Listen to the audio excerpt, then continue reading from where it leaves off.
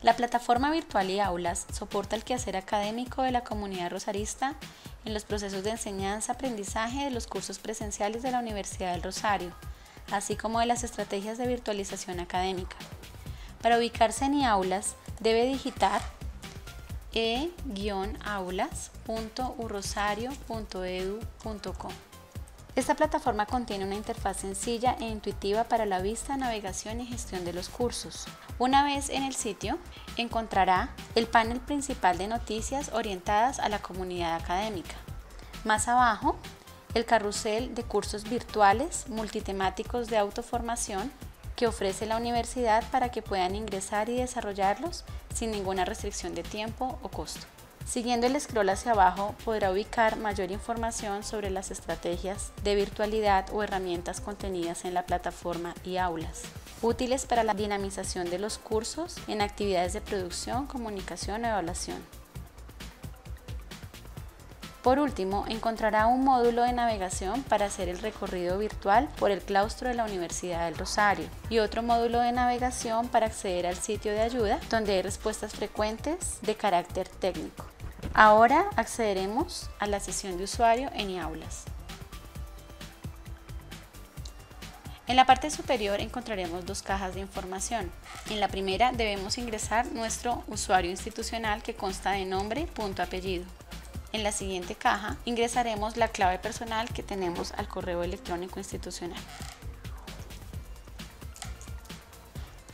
Una vez logueados, la plataforma nos reconoce por nuestro nombre de usuario. Si estamos interesados en editar el perfil colocando la foto o agregando información sobre nosotros, lo podemos hacer seleccionando debajo de nuestro nombre en el menú la opción Perfil. Igualmente podemos personalizar las preferencias del sitio para temas de idioma, notificaciones, mensajería, dando clic en la opción Preferencias. Y por último, siempre que terminemos de gestionar nuestros cursos y navegar en el sitio, debemos salir para cerrar nuestra sesión por cuestiones de seguridad.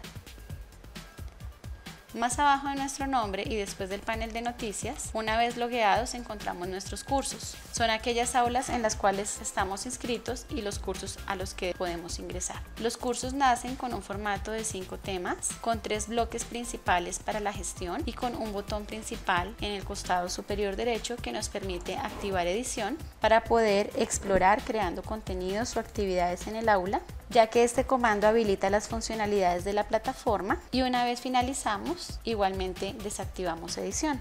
Este nos permite agregar actividades como cualquiera de estas, que es un abanico de posibilidades para que nuestros estudiantes puedan interactuar de una mejor manera en el aula. O agregar recursos que están orientados a los contenidos y materiales de estudio para nuestros estudiantes. Con los bloques de gestión encontramos el de personas, donde podremos ver la lista de participantes que se encuentran inscritos en el curso. Para opciones de mensajería, por ejemplo, los seleccionamos a todos y desde acá podemos enviarles un mensaje que les llegará a su correo electrónico institucional. Además, podemos filtrar para reconocer el número de participantes que se encuentran en el aula. Se puede filtrar solamente por estudiantes o dejar todos los participantes para saber cuántos estamos interactuando en este curso. En el bloque de navegación podremos encontrar la opción de calificaciones, competencias e insignias.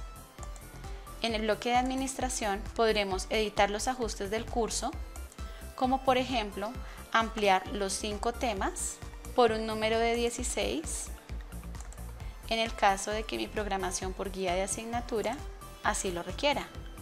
Igualmente podríamos cambiar la apariencia del curso dejándolo de un paso de temas a un paso de pestañas, por ejemplo. Una vez finalizado el cambio del formato del curso, guardamos los cambios y podemos ver. Con el bloque de administración igualmente podremos encontrar los usuarios matriculados, hacer gestión y seguimiento de los participantes a partir de la opción de informes, generando un reporte de registros.